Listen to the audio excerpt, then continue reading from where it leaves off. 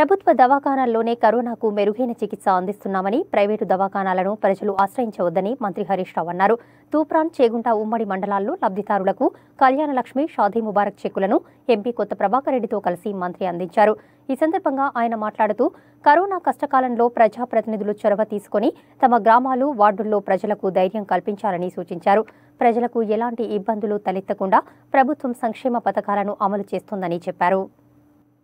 అలాగే మన జిల్లా పరిషత్ చైర్మన్ మేడం ఏమైనా భక్తి వెంకయ్య ముందర ఏర్పాటు చేయడం జరిగింది కాబట్టి తప్పనిసరిగా మీరు హాల్లోకి ఎంటర్ అయ్యే ముందు కన్న తండ్రి ఆలోచిస్తాడో లేదో మేనమామ ఆలోచిస్తాడో లేదో కానీ పేరింటి ఆడపిల్ల పెళ్ళి గురించి ఇలా మన ముఖ్యమంత్రి కేసీఆర్ గారు ఆలోచించారు.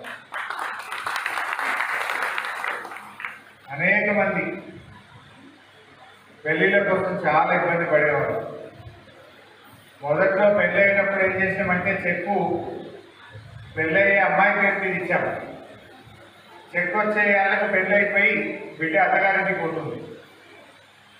చెక్కు రాగానే అల్లుడు దొరికొస్తారు కదా బిడ్డలు ఈ చేతితో బిడ్డ చేతిలో చెక్కు పెట్టగానే ఆయన చేతిలో అల్లుడు చూసుకుంటుండు మోటార్ సైకిల్ కొంటుండు లేకపోతే తెలుగు కళ్ళు అత్తుంది అనుకో గీన లెక్క. బిడ్డ కొడలా వెళ్ళి దావత్ బాగా ఖర్చు అయింది. దుకాణంలో కట్టేది కదా నాకు కోడలు చేతి చేతికి చెక్కు పూసుకుంటుంది కొత్తగా పోయిన కొడల పిల్ల ఏమంటారు మాట్లాడుతుందా?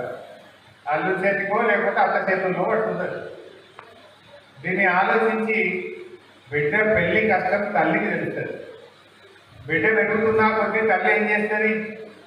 ఓ వీసమెత్తో పావుల కులమో అదకులమో ఎట్లన్నా కష్టపడి ఇంత ఎంత కేసుకు వస్తుంది బిడ్డ పెరుగుతుంది. పెళ్ళికి ఏమన్నా కావాలని చెప్పి భర్తకు తెలిసి కొత్త తెలియని కొత్త ఎట్లెట్లా పెట్టుకుంటే అక్కడ దర్దాకుంటుంది తల్లి. మరి ఆ తల్లికి కష్టం తెలిసి కనుక ఇప్పుడు ఆ చెక్కు ఏం చేసినాం? తల్లి పేరు మీద ఇస్తా ఉన్నాం చెక్కు.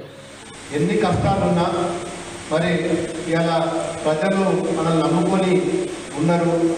మరి మన ప్రజలకు ఎక్కడ సంవత్సరాలు కష్టపడి రాష్ట్రాన్ని తెలంగాణ రాష్ట్రం సాధించుకున్నాం.